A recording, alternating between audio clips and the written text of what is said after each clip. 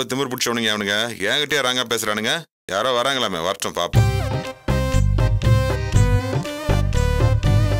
டேய் மச்சா. ம். உங்க அண்ணி வருவாங்களாடா? வரேன் தான் சொல்லியிருக்காங்க சப் இன்ஸ்பெக்டர் கிட்ட. எனக்கு என்னமோ நம்பிக்கையே இல்லை. நம்ம பாண்டிச்சேரி போனதுல இருந்து அவங்களுக்கு ஒரு ஃபோன் கூட பண்ணல. ம். எல்லாத்துக்கும் மேல நம்ம பிசினஸுக்கு சங்கூதுனதும் அவங்களுக்கு தெரியும். அப்படியெல்லாம் இருக்கும்போது எப்படா வருவாங்க? இன்னைக்கு நம்ம கதி அதோ கதிதான்.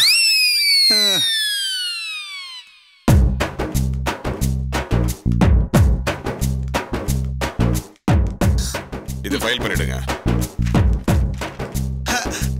அ- அண்ணி ஏன் இப்படி எல்லாம் பண்றீங்க? உங்களுக்கு அறிவே இல்லையா? ஐயோ மேடம் எங்களை காப்பாத்துங்க மேடம் எல்லாருமே எங்களை கைவிட்டாங்க மேடம் பண்றதெல்லாம் பண்ணிட்டு. ஏய், போடா. சார் நான் நம்பி குரூப் ஆஃப் கம்பெனிஸோட எம்டி சார் உட்காருங்க. தேங்க்யூ சொல்லுங்க சார் அதான் உங்ககிட்ட போன்லயே சொல்லிட்டேன் மேடம் இவங்க மூணு பேரும் சேர்ந்து ஃப்ராட் வேலை பண்ணிருக்காங்க. மக்கள் பணத்தை ஏமாத்திருக்காங்க. அவங்க கிட்ட அடி வாங்கியே செத்துருப்பானுங்க. நாங்க தான் போய் அரெஸ்ட் பண்ணி கூட்டிட்டு வந்திருக்கோம். சார் இவங்க மேல எஃப்ஐஆர் எதுவும் போடலையே. இன்னும் போடல மேடம் இனிமே தான் ஃபைல் பண்ணணும்.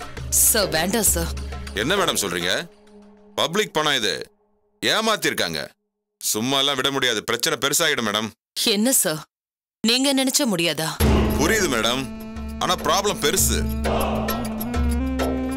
அதோட இது பப்ளிக் விஷயம். நாளைக்கே பத்திரிக்கை மீடியன் போச்சுன்னா எனக்கு ரொம்ப சிக்கலாயிடும். என்ன போட்டு கொட கொடன் கொடாஞ்சிருவாங்க. அமௌண்ட் எவ்வளவு சார் என்ன மேடம் கேக்குறீங்க? இல்ல பப்ளிக் அமௌண்ட் ஏமாத்துனாங்கன்னு சொன்னீங்களே அது எவ்வளவு அமௌண்ட் ஐயாயிரம் ரூபாய் மேடம் மச்சா நம்ம எண்ணி பார்க்கும்போது பதினஞ்சாயிரம் ரூபாய் இருந்துச்சு. பத்தாயிரம் ரூபாய் இந்த ஆள் அமுக்கிட்டான்டா. ஏய் என்ன சொன்ன? சார் ஐயாயிரம் ரூபாய்னு சொல்ல வந்தேன் சார். நீங்க சொல்லுங்க மேடம். சார் ஐயாயிரம் ரூபாங்கிறது சின்ன அமௌண்ட் தானே சார்? அதுக்கு இல்லைங்க மேடம். அமௌண்ட் சின்னதா இருந்தாலும் பிரச்சனை ரொம்ப பெருசு. ஒரு கூட்டமே போட்டு அடிச்சு துவைச்சிருக்காங்க. அவங்க நாளைக்கு வந்து என்னாச்சுன்னு கேட்டா நான் என்ன மேடம் பதில் சொல்றது? சார் வச்சுக்கோங்க சார். சார் வாங்கிக்கோங்க சார். அக்கா தான் சொல்றாங்கல்ல. அதுக்குன்னு இல்லைங்க மேடம். இந்தாங்க சார்? சரி நீங்க இவ்வளவு தூரம் சொல்றீங்க. சரிங்க மேடம். சரி போங்கப்பா போங்கப்பா இந்தாங்க உங்க போன்லாம் சார் தேங்க்யூ ஐம்பது ரூபாய் கொடுத்து ஒரு டோக்கன் வாங்கினா குலுக்கல் முறையில் இருபதாயிரம் மதிப்புள்ள பொருட்கள் தருவோம். உடனே டோக்கன் வாங்குங்க. ராஜு அண்ணி. என்ன பண்றீங்க? ஆ. வாங்க. ஆ, சரி அண்ணி. அ, பாசகல. வாடா. ஐயோ எல்லாம் போச்சே. என்ன ராஜு? கொஞ்சம் கூட அறிவே கிடையாதா? மாட்டிக்கிட்ட உடனே எனக்கு ஒரு ஃபோன் பண்ணிருக்கலாம்ல? மேடம் நான் இவகிட்ட சொன்னேன் மேடம். நாம என்ன தப்பு பண்ணாலும் உங்க அண்ணி வந்து வெளியில எடுத்துருவாங்கன்னு. சுமாரா இல்ல நீ ஒவ்வொரு முறையும் நீங்க தான் வந்து உதவி செய்றீங்க. அதுவும் இல்லாம பிசினஸ் பண்றதுக்கு நீங்க பணம் கொடுத்தீங்க. கடைசியா நீங்க கொடுத்த பத்து லட்சத்தை வச்சு டிராவல்ஸ் பிசினஸ் பண்ணலாம்னு நினைச்சோம். அதுவும் போயிடுச்சு. சரி நீங்க இதெல்லாம் சொன்னா திட்டுவீங்கன்னு நினைச்சோம். அதுக்கு மேல உங்களை கூப்பிடுறதுக்கு ஒரு மாதிரியா இருந்துச்சு. அதான் பிரகாஷ் சத்யா பேரை ஸ்டேஷன்ல சொன்னோம் அண்ணி. என்ன சொல்ற ராஜு? ஆமா அண்ணி. சொன்னேன் அண்ணி. ஆனா அவங்க ரெண்டு பேருமே வரல அண்ணி. சட்டப்படி நடவடிக்கை எடுங்கன்னு கலட்டி விட்டாங்க அண்ணி. பின்ன? உடனே துடிச்சுக்கிட்டு ஓடி வந்து உங்களை வெளியில எடுப்பாங்கன்னு நினைச்சீங்களா? பிரகாஷ் உன் மேல ஒரு வன்மத்துல இருக்கான்னு நான் ஏற்கனவே உங்ககிட்ட சொல்லியிருக்கேன். இப்ப நீ இப்படி மாட்டினா சந்தோஷப்படுவானா இல்ல உன்னை வெளியில எடுப்பானா? அதுவும் அந்த சத்யா உனக்கு உதவி செய்வாளா? என்ன மனுஷங்க அவங்க? நீ பண்ணது தப்புதான். யாரு இல்லைன்னு சொன்னா?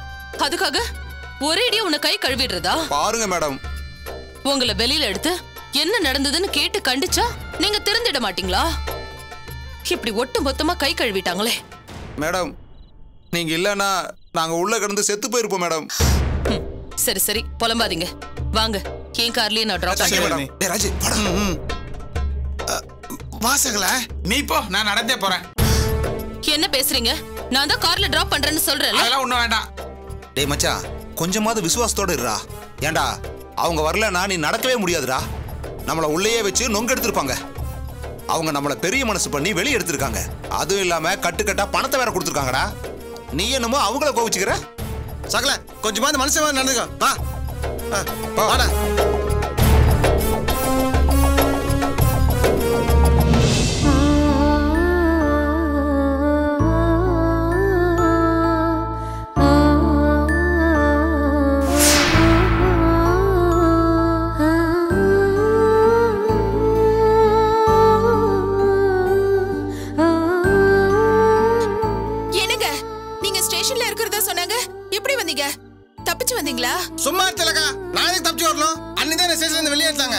என்னடா பேசி வச்சுட்டு டிராமா பண்றீங்களா? சொல்றா. டேய் நீ உள்ள போறதும் அவ உன்னை வெளியே எடுக்கிறதும் என்ன கதை இது? கதையா? என்னடா சொல்ற? கதை இல்லாம நீ உள்ள போயிட்டேன்னு உன்னை வெளியே எடுக்க இங்க அம்மா திலகா பிரகாஷ் எல்லாம் சத்யா கிட்ட கெஞ்சிட்டு இருக்காங்க. அவ என்ன சட்டுன்னு வந்து வெளியே எடுக்கிறா உன்ன. இதுக்கெல்லாம் என்ன அர்த்தம்? நீ உள்ள போகும்போது இந்த தப்ப நான் பண்ண போறேன் நீங்க வந்து வெளியே எடுங்கன்னு சொல்லிட்டு போற மாதிரில இருக்கு. அவ சகவாசம் தானே இத்தனைக்கும் காரணம். உன்னெல்லாம் என்னடா பண்றது? டேய் ராஜு உன்ன மாதிரி தானே பிரகாஷும் குமாரும். அவங்கள மாதிரி நீயும் ஏதாவது வேலைக்கு போலாம்ல? அதை விட்டுட்டு தப்பு மேல தப்பு பண்ணிட்டு இருக்கேடா. மாமா உங்களுக்கு மனசாட்சி உறுத்தல? பப்ளிக்கை ஏமாத்தி கொள்ளடிக்கிறமே மனசாட்சி உறுத்தல? டே ராஜு இந்த மாதிரி எல்லாம் பண்றது தப்புடா. டேய் நிறுத்துடா. வெளியே எடுக்க துப்பு இல்ல புருஷ பொண்ணாட்டி சேர்ந்து பேசிக்கலாம்டா. அடி செருப்பால. நீ பண்ண காரியத்துக்கு இவங்களே உன்னை போலீஸ்ல புடிச்சு கொடுத்துருக்கணும்டா. என்ன திமிர்ந்து அப்படி பேசுவ நீ? இவர் பப்ளிக் ஏமாத்தி சம்பாதிக்கணும்னு நினைப்பாரு. இவங்க வந்து வெளியே எடுக்கணுமா? டேய் சும்மா இருடா. இவன் பெரிய யோகமடா இப்பதான் தெரிஞ்சிருக்கா அவன்? என்ன குத்த சொல்ற நீ? ஆமாண்டா நான் ஏமாத்துறேன். அவங்க என்ன ஏமாத்துறாங்க நான் அவங்கள ஏமாத்துறேன். அவ்வளவுதான்.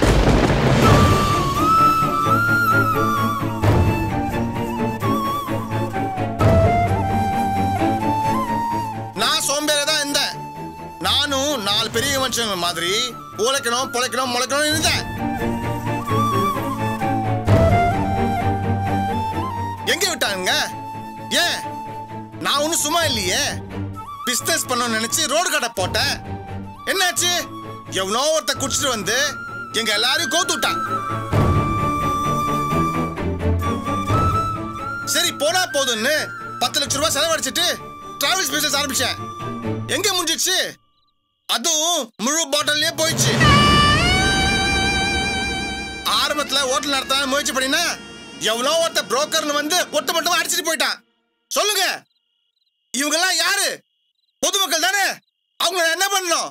சொல்லு. ஏமாத்தினப்ப சும்மா விட்டாங்க.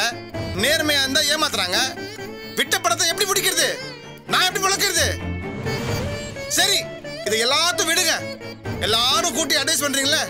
இந்தாடா ஆ, ஏதாவது பிசினஸ் பண்ணி பொழைச்சுக்கோன்னு சொன்னீங்களா? இல்லையே? பணம் கொடுத்தா இந்த பணம் எப்படி வந்துச்சு? எந்த வகையில வந்துச்சு? நீதி நியாயம் தர்மம்னு பேசுறீங்களா? ஆ நீங்க எல்லாரும் நேர்மையானவங்க தான். நான் அப்படிதான். ஏமாத்திரம் தான். ஆனா உதவி செஞ்ச அண்ணி நீங்க வீட்டை விட்டு விரட்டிட்டீங்களா? இன்னொரு தடவை அவளை பத்தி பேசல. டேய் என்ன பண்ணுவ? டேய்! ஏண்டா பொழைக்க தெரியாம எதையோ பண்ணி சொதப்புறோம்னு நினைச்சா இவன் திட்டம் போட்டு தான் மக்களை ஏமாத்த கிளம்பியிருக்கான். அப்படிதானே ஒன்ன விடுறா! அவன் எனக்கு மூத்தவன். அவன் என்ன இது பண்ணுவான். அதுக்காக நீ ஏறா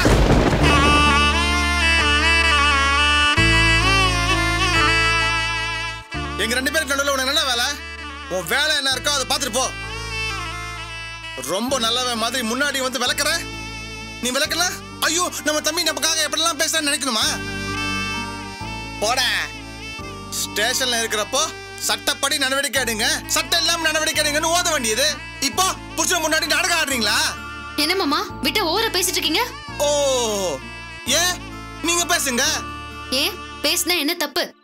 என்னமோ மக்களுக்கு சேவை செஞ்சு நீங்க உள்ள போன மாதிரியும் நாங்க ஏதோ உங்களை வெளியில எடுக்காத மாதிரியும் பேசுறீங்க. நீங்க என்ன வேலை பார்த்திருக்கீங்க? அஞ்சுக்கும் பத்துக்கும் உழைக்கிற பொதுமக்களை ஏமாத்திருக்கீங்க. இதெல்லாம் ஒரு பொழப்பா மாமா? ஸ்டேஷன்ல நான் தாசில்தார் புருஷனோட அண்ணனை சொல்ல தெரியுதுல்ல? இதால யாருக்கு அசிங்கம்? உங்களால இந்த குடும்பத்துக்கு அசிங்கம் எங்களுக்கு அசிங்கம். சத்யா! என்னக்கா? என்ன பண்ண சொல்றீங்க? அவர் பண்ண தப்புக்கு விளக்க சொல்லிட்டு இருக்காரு ஆமா விளக்க கொடுத்தேன். உன் புருஷன் நம்பர் யோகமே என்ன?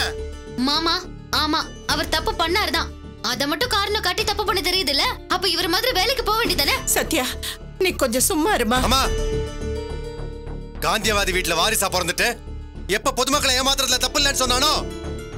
என் மனசை கல்லாக்கிட்டு சொல்றேன். இவன் இந்த வீட்டுல இருக்கவே லாய்க்கு இல்லாதவன்.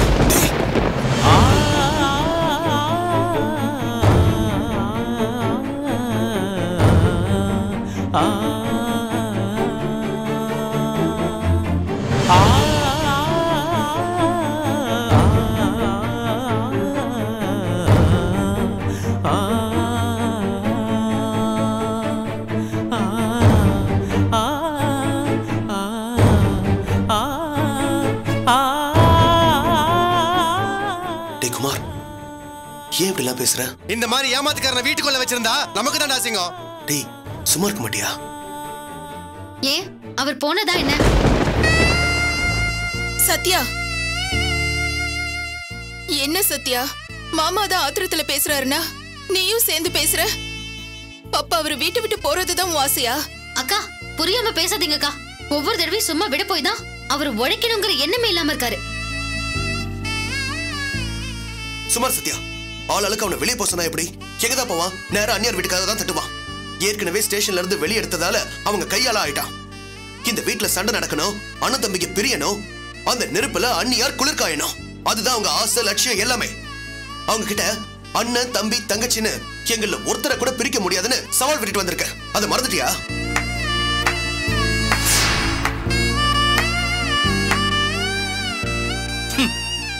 நீ எல்லாம் யோகிய என்னை வீட்டு விட்டு போக சொன்னது என் அண்ணன். நான் அவங்ககிட்ட பேசிக்கிறேன். டேய் வீட்டு விட்டு தானே போகணும்? போகிறேன் என் சொத்தை பிரித்து கொடு நான் போகிறேன் சொத்தை பிரித்து கொடுக்கணும். ம் சரிடா. ஏற்பாடு பண்ணுறேன் ஓடி போய் நீ அண்ணி நிப்பையே அந்த தொடப்ப கட்ட. அவகிட்ட போய் அண்ணி குமார் சொத்தை பிரிச்சு தரேன்னு சொல்லிட்டான். நீங்க நல்லவங்க. நியாயமானவங்க. அவன் கேக்குற டைவர்ஸ் பேப்பர்ல கையெழுத்து போடணும்னு சொல்லு. கையெழுத்து போட்ட உடனே நான் சொத்தை பிரிச்சு கொடுத்துறேன்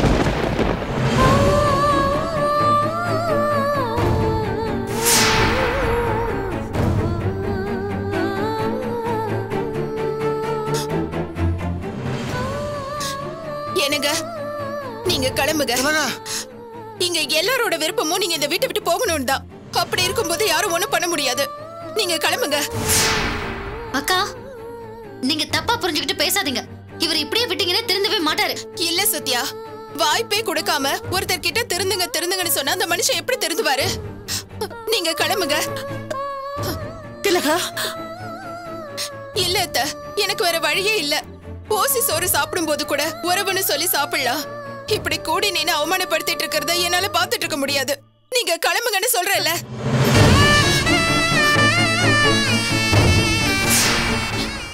ராஜு அண்ணி என்ன அண்ணி? ஆளுக்கு இப்படி பேசிட்டே போனா எப்படி? அம்மா அவன் தெரிஞ்சிருவாமா முதல்ல அவனை வர சொல்லுங்கம்மா. டேய் ராஜு உள்ள வாடா. டேய் குமார் அவனை உள்ள கூப்பிடுறா. வெளியே போனா தப்பாயிடும்டா. என்னங்க ஒரு நிமிஷம். நீங்க இல்லாத இடத்துல எனக்கு எந்த வேலையும் இல்ல. நான் போய் குழந்தைங்களை கூட்டிட்டு வரேன். அண்ணி அண்ணி என்ன நீ அக்கா என்னக்கா நீங்க? என்ன அக்கான்னு கூப்பிடுற அவரை மாமான்னு கூட நினைக்காம வெளியே போக சொன்னது சரிதான்னு சொல்லிட்டே சத்யா. இன்னும் நாங்க எதுக்கு இங்க இருக்கணும்? திலகா என்னம்மா இப்படி எல்லாம் பேசுற? என்ன மன்னிச்சிருங்க அத்தை. அண்ணி ப்ளீஸ் நான் உனக்கு கால்ல விழுறேன் டேய் இவன் பண்ண தப்புக்கு திலகாவுக்கு ஏன்டா தண்டனை? கூப்பிடுற அவனை. டேய் ஒரே ஒரு தடவை மன்னிச்சு விடுறா. இனி இந்த மாதிரி தப்பு பண்ண மாட்டான்டா. டேய் கூப்பிடுறா.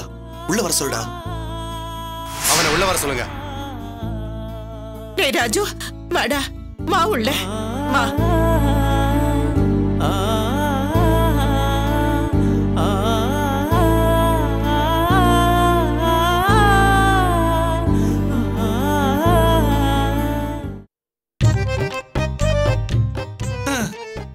எல்லா தொழிலும் போய் கடைசியில போலீஸ்லயும் மாட்டியாச்சு. இனிமே என்ன பண்றதுன்னு தான் தெரியல.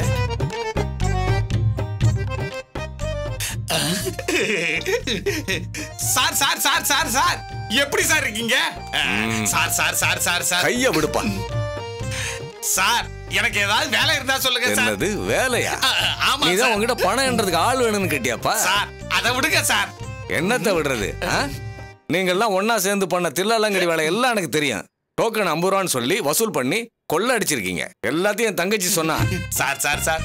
தப்பா எடுத்துக்காதீங்க சார். வீட்டுக்கு எதுவும் தெரியாது சொல்லிடாதீங்க சார். எல்லாம் தெரியும். அக்கா. நல்லா வளர்த்து வச்சிருக்கீங்க அவனை. திருந்திட்டேன்னு நினைச்சேன். இன்னும் நீ களவாணியா தான் இருக்க. என்ன தம்பி?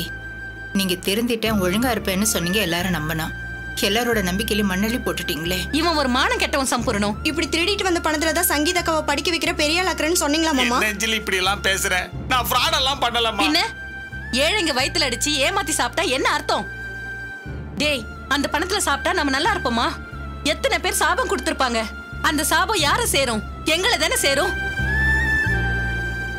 உங்களை நம்பினதுக்கு நாங்க இதெல்லாம் அனுபவிக்கணுமாப்பா? அதனாலதான் நீ பணம் கொடுக்கும் போதே எனக்கு சந்தேகமா இருந்தது. அதான் வேண்டான்னு சொன்னேன். ஐயா தர்ம பிரபுவே போதும். நீ உழைச்சு கொட்டுறேன்னு இப்படி திருடி சேர்த்ததெல்லாம் போதும். இனி அந்த வேலையே வேண்டாம். ஏதோ பொழைக்க வழி இல்லாம இந்த ஊருக்கு வந்தப்ப உன்னை வச்சுதான் சம்பூர்ணமாவும் அந்த குடும்பமும் அறிமுகமாச்சு. போதும். இந்த ஒரு காரியத்துக்காக பொம்பளை நான் உழைச்சு உனக்கு சோறு போடுறேன். என் உடம்புக்கு ஏதாவது நோய் வந்தா கூட உனக்கு பிச்சை எடுத்தாவது கஞ்சி ஊத்துறேன். போதுமா? அக்கா. சரி இதெல்லாம் உங்ககிட்ட யாருக்கா சொன்னது? வேற யார் சொல்லுவாங்க? பிரகாஷ் சத்யா ஃபோன் பண்ணி சொன்னாங்க. இதெல்லாம் தேவையான்னு என்கிட்ட கேக்குறாங்க. நான் அப்பவே செத்துட்டேன்டா. உன்னை பார்க்கவே எனக்கு அருவருப்பா இருக்கு.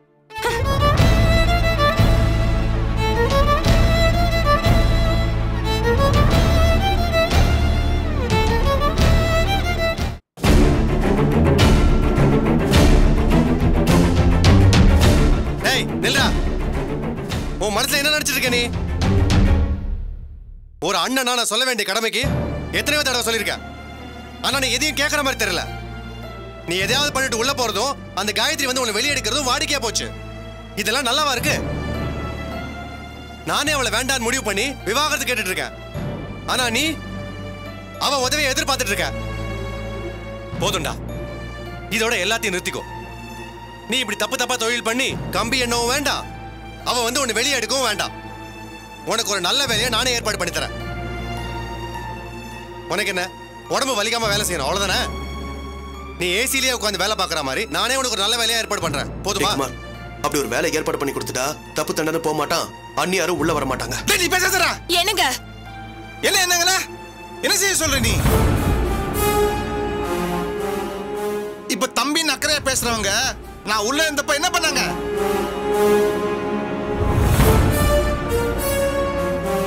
போதும். பட்டதெல்லாம் போதும். நீங்கெல்லாம் எதுவுமே செய்ய வேணாம் எனக்கு. நானும் யார்கிட்டயும் எதுவும் கேட்கல என்னை என் ரூட்ல போக விடுங்க. அது போதும். ஓ ரூட்லயா என்னடா ரூட்டு மறுபடியும் ஏமாத்தி பழைக்க போறியா? அது ஏதோ என் இஷ்டம். டேய் ராஜு.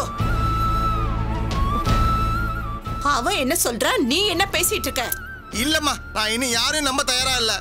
பேசாம வாடா. மா எங்கம்மா? உனக்கு நல்ல புத்தி வரணும் தான் கோயிலுக்கு போய் பூஜை பண்ணி ஐயர்கிட்ட இருந்து சாமி கயிறு வாங்கிட்டு வந்திருக்கேன். அத பூஜை ரூம்ல வச்சு உன் கையில கட்டணும். வா. மா என்னம்மா நீங்க? கூட பிறந்தவங்கள கூட்டு சேர்ந்து சதி பண்ணும்போது நீ சாமி பூதன் பேசிட்டு இருக்க? அந்த கல்லு குப்பிட்டு என்னமா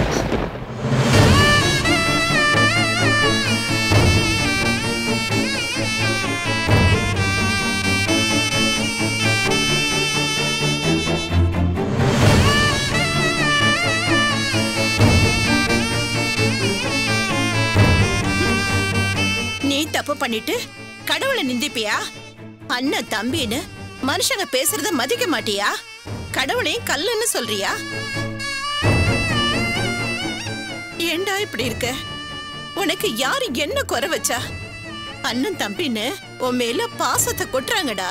எல்லாத்துக்கும் மேல நீ என்ன தப்பு பண்ணாலும் உனக்காக உயிரே கொடுக்கற.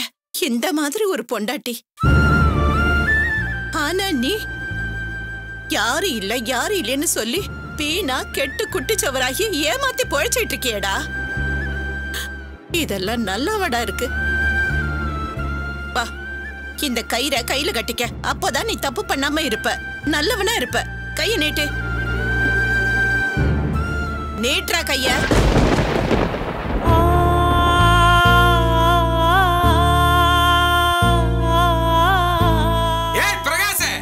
சத்யா. வாங்க. என்னண்ணே? என்னாச்சு? அண்ணன் யாருக்கு யார் அண்ணன் சொல்லுங்க அண்ணே. அண்ணன் நினைச்சிருந்தா இப்படி ஒரு கேவலமான காரியத்தை பண்ணிருப்பியா? கேவலமான காரியமா? என்னண்ணே சொல்றீங்க? ஐயோ போது சாமி. என்ன அண்ணன்னு கூப்பிடவும் வேண்டாம். என் சாவுக்கு மணியே அடிக்க வேண்டாம். நீ எல்லாம் ஒரு மனுஷனாயா? சகல. சகல நீங்க சும்மா இருங்க சகல. உங்களுக்கு எதுவும் தெரியாது. அண்ணா என்ன நான் இப்படி பேசிட்டு இருக்கீங்க? ஏன் சத்யா? நான் தெரியாம தான் கேக்குறேன். இந்த பிரகாஷ் யோகிய உத்தம நாங்கெல்லாம் கெட்டவங்க. அதானே? நீ பழைய சத்யாவா இருந்திருந்தா இதெல்லாம் உனக்கு புரிஞ்சிருக்கும். இப்பதான் பச்சை இங்கில கையெழுத்து போடுற தாசில்தார் ஆயிட்டிய. உனக்கு இதெல்லாம் தெரியுமா? உன்னை என் கூட பிறக்காத தம்பியா நினைச்சனே. ஆனா நீ? ஏன் பிரகாஷ் உனக்கு பழசெல்லாம் மறந்து போச்சா? காயத்ரிமா காயத்ரிமான்னு அந்த அம்மா கால்ல விழுந்து கிடந்து உனக்கு நான் எவ்வளவோ கெடுதல் பண்ணியிருக்கேன். ஆனா கடைசியில ஓ நல்ல குணம் தெரிஞ்சு உனக்காக என் உயிரையே பணைய வச்சனே. ஆனா நீ இன்னைக்கு நீயும் சத்யாவும் இந்த வீட்ல இருக்கீங்கன்னா அது யாரால? என்னால? இந்த மூர்த்தியால? ஆனா நான் போலீஸ் ஸ்டேஷன்ல இருக்கேன்னு தெரிஞ்சும் வந்து ஒரு எட்டு கூட பார்க்கல எல்லாத்துக்கும் மேல சட்டப்படி நடவடிக்கை எடுக்கன்னு கோத்து வேற விட்டுருக்கீங்க ஏன்? வெளியே விடுங்கன்னு சொன்னா நான் குறைஞ்சு போயிருவீங்களா? ஆனா நீங்க பண்ணது ரொம்ப பெரிய தப்பு. அப்பாவி மக்களோட பணத்தை நிறுத்துமா என்ன பெரிய அப்பாவி மக்கள்? அப்பாவி மக்களா? அப்பாவி மக்கள். வீட்டை விட்டு வெளியே போகணும் சொன்னப்போ உங்களுக்காக எந்த அப்பாவி மக்கள் வந்து நின்னாங்க? ஒரு பயம் வரல இந்த மூர்த்தி தானே வந்தா?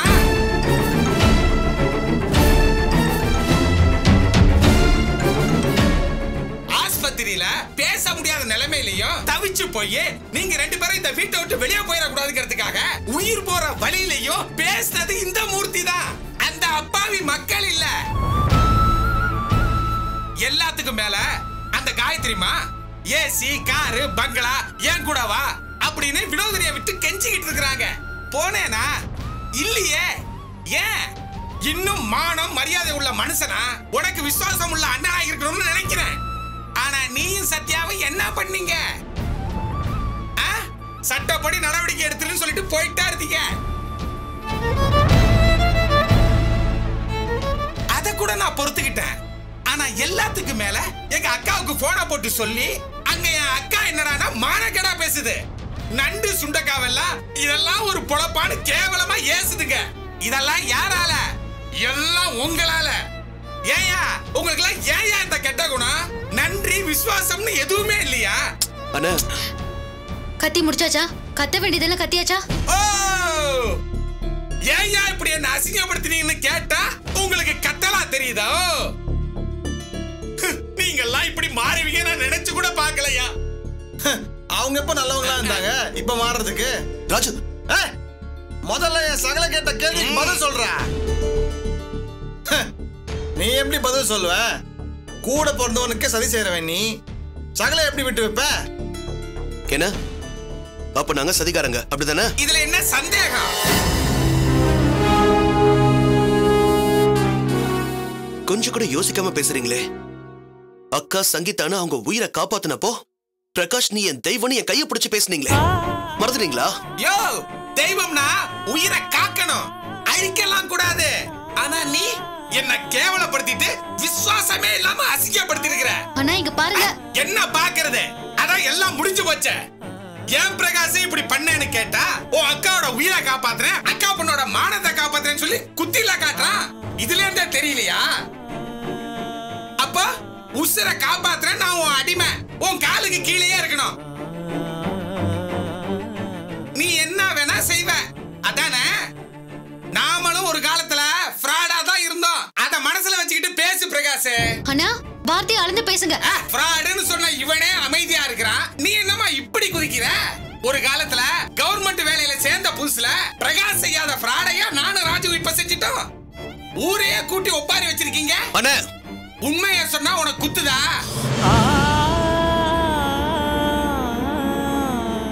என்னவோ? புதுசா நீதி நேர்மைன்னு பேசினா எதுவுமே இல்லைன்னு ஆயிருமா? எங்களுக்கும் தெரியும். விசுவாசம் கெட்டவங்க. சூப்பர் சகல சூப்பர். நூத்துல ஒரு வார்த்தை. இவங்கள பத்தி சொல்லும் போதெல்லாம் நீ நம்பல. இப்போ நீ அனுபவிக்கிற. இப்பயாவது திருந்து சகல. நல்லவங்க யாரு கெட்டவங்க யாருன்னு புரிஞ்சுக்கோ. என்னங்க இவர்தான் புரியாம பேசுறாருனா நீங்களுமா? ஏய் உனக்கும் நீ சொல்றேன். டேய் போத நிறுத்துடா. நானும் பாத்துக்கிட்டே இருக்க மூர்த்தி சொன்னதும் நீயும் சேர்ந்து பேசிக்கிட்டு இருக்க. அம்மா அடி குடும்பமே நன்றி மறந்த குடும்பமா இல்ல? சகல நிறுத்து. இதுக்கு மேல ஒரு வார்த்தை பேசின அவ்வளவுதான். சரி சரி. எதுவுமே பேசல. சகல அதிர்ஷ்டவசமா கவர்மெண்ட் வேலை கிடைச்சிச்சுல அதான் தலைக்கா தெரியாம ஆடுறாங்க. நமக்கு யார் தெய்வமும் வேணாம் சகல. பார்க்கலாம்ல வா.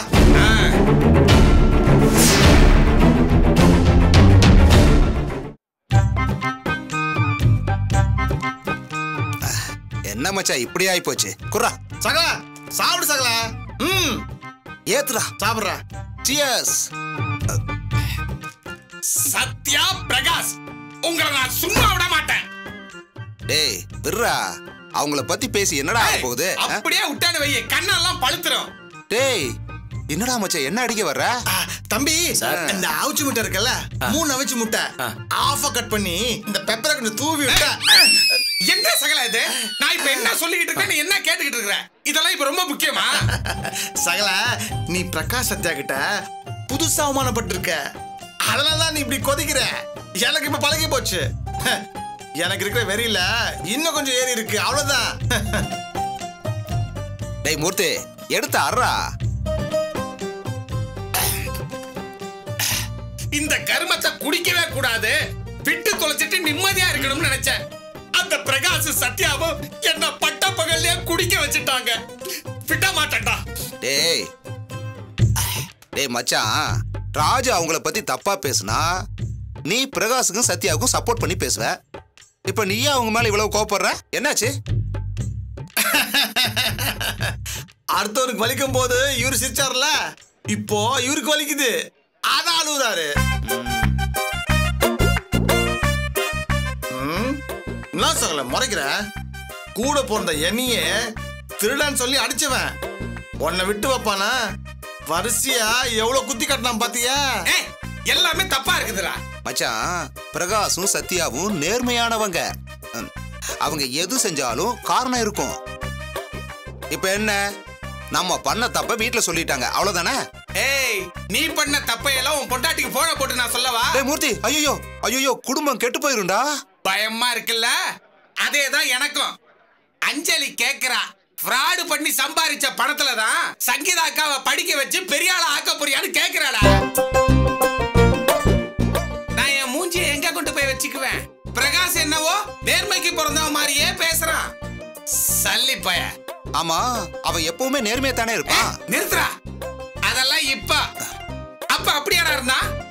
அவன மாதிரி ஒரு மோசமான கிரிமினல நீ பார்த்திருக்கவே முடியாது. கிரிமினலா என்ன சகல சொல்ற? ஆமா அவன் கிரிமினல் தான். சகல அப்படி அவன் என்னதான் பண்ணிருக்கான் முன்னையாவது ஏதாவது பண்ணுவான். இப்பதான் அவன் எதுவுமே பண்றது இல்லையே என்ன பண்ணல? இப்ப அவன் பண்ண காரியத்தை சொல்ல நீ அப்படியே துடிச்சிருவ. என்ன சகல சொல்ற? ஆமா சகல. இப்ப அவனுக்கு சம்பள உயர்வு. அந்த நேர்மைக்கு பிறந்தவ மாதிரியே சொல்லிட்டு திரியாளே சத்யா. அவளுக்கு தாசில்தார் உத்தியோகம். இதெல்லாம் எப்படி கிடைச்சது? அத சொல்ல வரியா? அந்த வீணா போற அமைச்சரோட தம்பி பெட்ரோல் பாம் போட்டு அவங்கள வாழ வச்சுட்டான். அவன் மட்டும் என் கையில கிடைச்சான்னு நினைச்சுக்கம்மா அவனை. கிழிச்ச பாம் போட்டது அவனுக்கு ஆளுங்க கிடையாது. சகல என்ன சொல்ற? அந்த மினிஸ்டரோட தம்பி மிரட்டிட்டு அடுத்த நாளே பாம் போட்டிருக்கான். நீயும் உன் குடும்பமும் வேணா அப்படி நினைக்கலாம். ஆனா பாம் போட்டது அவனுக்கு கிடையாது. அவங்க இல்லைன்னா வேற யாரு? சத்யாக்கு வேற யாரா எதிரி இருக்காங்களா? இப்படி ஒரு குழப்பம் வரும்னு முன்னாடியே தெரிஞ்சுதா? தெளிவா பிளான் பண்ணிருக்கிறான் ஐயோ சகல ஏன் நீ இப்படி குழப்புற? பாம் போட்டது மினிஸ்டர் தம்பி இல்லைங்கிற. தெளிவா பிளான் பண்ணலாங்கிற. அத பண்ண வந்தா யாரு? யாருன்னா? உன் வீட்ல பாம் போட்டதே உன் தம்பி பிரகாஷ் தான். ஷாக்காகாம உட்காரு. என்னடா? சரக்கு மண்டைக்குள்ள போய் மூளையை குத்திருச்சா? இப்படி வளர்ற உளறேனா இது ஒண்ணு. இது மூணு. ஓகேவா? இது அஞ்சு. ஸ்டெடியா இருக்கேனா. இதையெல்லாம் கரெக்டா தான் சொல்ற. ஆனா பேசும்போது கோட்டை விட்டுறியே. எவனாவது தான் வீட்டுக்கே பாம் போடுவானாடா. பிரகாஷ் பைய போட்டிருக்கானடா. இத செஞ்சது பிரகாஷோட ஃப்ரெண்ட்ஸ் பிரகாஷ் சொல்லித்தான் வீட்ல பெட்ரோல் பாம்ப போட்டிருக்கானுவ. சகல? நீ என்ன சொல்ற சகல? டேய் இவன் பிரகாஷ் மேல உள்ள கோபத்துல போதையில உளறான்டா. ஏய் இத என்கிட்ட சொன்னதே பிரகாஷ் தான்டா.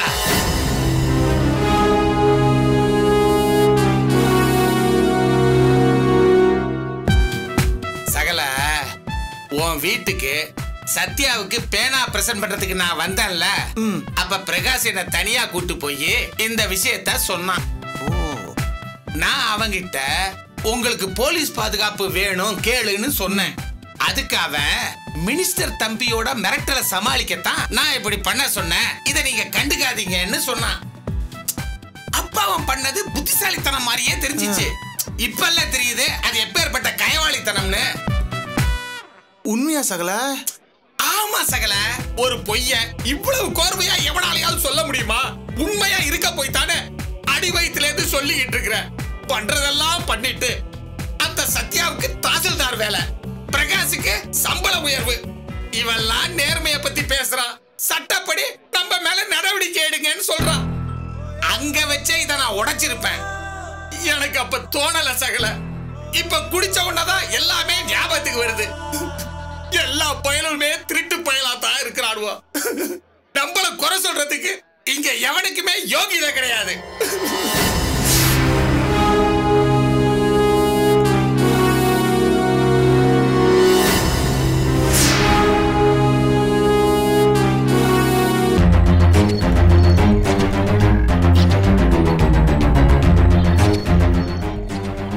பிரகாஷ். கொஞ்சம் பேசணும் வா. வாங்கடா. தனியா பேசணும் வாடா. அர்ஜென்ட் வாடா. என்ன விஷயம்? வா வெளியே வா சொல்றேன். டேய் இந்த பக்கம். என்னடா? என்னாச்சு? டேய் மச்சான். உயிர் பொழைச்சு வந்திருக்கோண்டா பிரகாஷ் அந்த அமைச்சரோட தம்பி ஜெயவேல் நேத்து எங்க ஏரியால ஒரு ரவுடியை அடிச்சு துவைச்சிட்டான். யாரா ஜெயந்த் விலாஸ்ல பெட்ரோல் பம்ப் போடுதுன்னு பின்னு பின்னு பின்னிட்டு போயிட்டான். பிரகாஷ் அடி வாங்கினவன் எங்க ஏரியால பெரிய ரவுடிடா. அவனுக்கே இந்த நிலைமைனா செஞ்சது நாங்கன்னு தெரிஞ்சா எங்க நிலைமை அவ்வளவுதான்டா. என்ன மச்சான் யோசிக்கிற? இன்னும் ஏதாவது செய்யணும் சொல்ல போறியா? டேய் கொஞ்சம் அமைதியா இருங்கடா. மச்சான் நினைச்சாலே பயமா இருக்குடா. பாம்பு போட்டது நாங்க தான் தெரிஞ்சா கொன்னுடுவானுங்கடா. என்னடா மச்சான்? இல்லடா பாம் போட்டது எதிர்க்கட்சியா இருக்குன்னு யோசிச்சு அப்படியே விட்டுருவாங்கன்னு பார்த்தா இப்ப திடீர்னு தேடுறாங்கன்னு சொல்றீங்களே. மச்சான் ஒரு ஏரியாவும் உள்ளடா. நேத்து மேடவாக்கத்துக்கும் போயிருக்கானுங்கடா. இல்ல இதுல ஏதோ தப்பு இருக்கு. அநேகமா அவங்க குறிச்சிட்டாங்கன்னு நினைக்கிறேன். மச்சான் என்னடா சொல்ற? அப்ப நாங்க தீந்தோமா? டேய் என் தங்கச்சிக்கு மாப்பிள்ளை பார்த்திருக்காங்கடா. இப்ப ஏதாவது நடந்தா என் வீட்ல? டேய் உன்னை சொல்லலடா. என்னையும் சத்யாவையும் சொல்றேன்.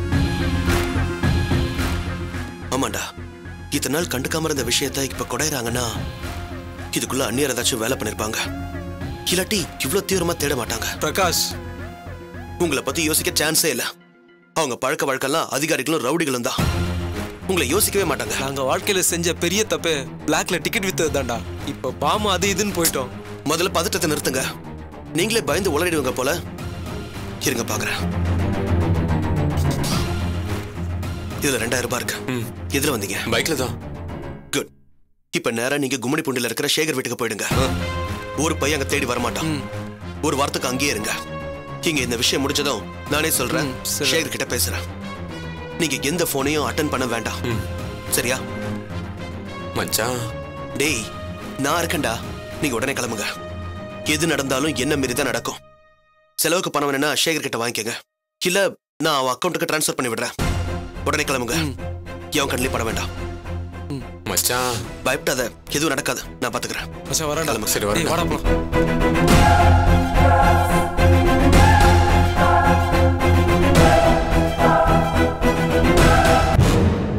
உண்மையா ராஜு? இது ஏன் மேல சத்தியம் நீ?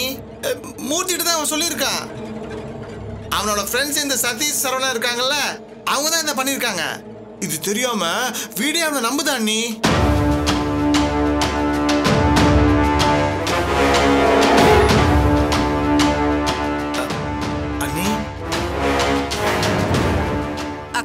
என்னக்கா யோசிக்கிற? லட்டு மாதிரி விஷயம் கிடைச்சிருக்குக்கா. நீ அப்படியே சொல்லி அடிக்கலாம்க்கா. திருட்டு ராஸ்கல் எப்படி ஒரு காரியத்தை பண்ணி வச்சிருக்கான் பாத்தியா?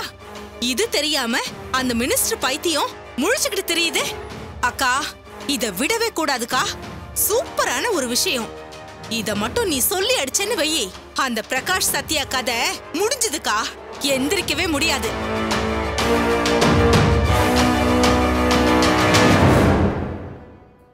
என்ன நீ? என்ன நம்பலையா நீங்க? அதுக்கு இல்ல ராஜு. பிரகாஷ் ரொம்ப தெளிவானவன். காரண காரியம் இல்லாம எந்த ஒரு விஷயத்தையும் லீக் பண்ண மாட்டான். இது எவ்வளவு பெரிய விஷயம்? அவன் இது எதுக்கு மூர்த்தி கிட்ட சொல்லணும்? ஒருவேளை மூர்த்தி கிட்ட சொன்னா அது உன் காதுக்கு வரும். உன் காதுக்கு வந்தா விஷயம் நேரம் இங்கதான் வரும்னு நினைச்சு அவன் ஏன் கணக்கு போட்டு இதை செஞ்சிருக்க கூடாது? இத நம்பி நான் ஏதாச்சும் பண்ண போய் அத வச்சு அவன் என்ன மாட்டி விடணும்னு நினைச்சா என்ன பண்றது? ஐயோ அண்ணி என்ன நீ இதெல்லாம் எனக்கு தோணாதா நீ சத்தியமா இதுக்குள்ள பிரகாஷ் பிளான் எதுவுமே இல்லை நீ அவன் மூர்த்தியை தனியா கூட்டிட்டு போய் பேசும்போது நான் சந்தேகப்பட்டேன். எல்லாத்துக்கும் மேல மூர்த்தி பிரகாஷ் மேல பழைய விசுவாசத்துல இல்ல. அதான் அவன் தண்ணி போட்டு வளர்றான். அண்ணி இதை நீங்க சரியா சொல்லி அடிச்சா போதும் அண்ணி. இது மட்டும் உண்மையா இருந்தா சத்யாவும் பிரகாஷும் இந்த ஜென்மத்துல இல்ல. எந்த ஜென்மத்திலையும் எந்திரிக்கவே முடியாது. முதல்ல அவங்க வேலையை பிடுங்கணும் அண்ணி. அதை வச்சுதான் அவங்க ரொம்ப ஆடுறாங்க. குட் ராஜு. இந்த விஷயத்துல நீயும் என்ன மாதிரியே யோசிக்கிற? அண்ணி நீங்க எது செஞ்சாலும் நான் உங்க கூடயே இருப்பேன் அண்ணி.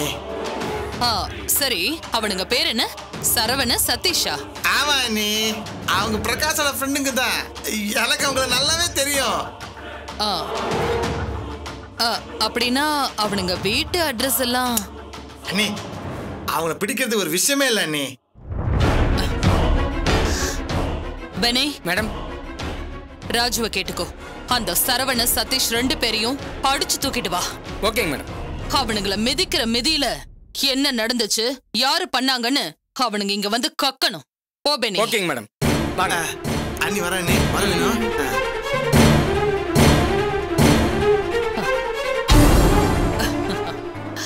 இதுல மட்டும் நான் நினைச்சது நடந்தது. அந்த பிரகாஷ் சத்யாவ. என்ன? சப்ஸ்கிரைப் பண்ண சொல்லி அந்த பிரகாஷ் சொன்னானாமே? இப்ப நான் சொல்றேன். நீங்க யாரும் கீழே இருக்கிற சப்ஸ்கிரைப் பட்டனை கிளிக் பண்ணவே கூடாது. கிளிக் பண்ணாதீங்கன்னு சொல்றேன்ல. பண்ணாதீங்க.